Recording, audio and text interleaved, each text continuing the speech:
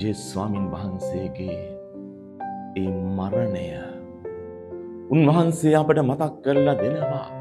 දෙවිපියන් වහන්සේ සමග ගැඹුරු ආදර හිතයිශී සම්බන්ධතාවයකට අපිට හිමිවන ගැඹුරු වරප්‍රසාදීය ජීවිතයකට අපිව හිමිකම් කරලා තිබෙන බව. ඒ අපි අයිති කරගන්නට ඕන. ඒ හරහා මම ගමන් කරන්නට ඕන.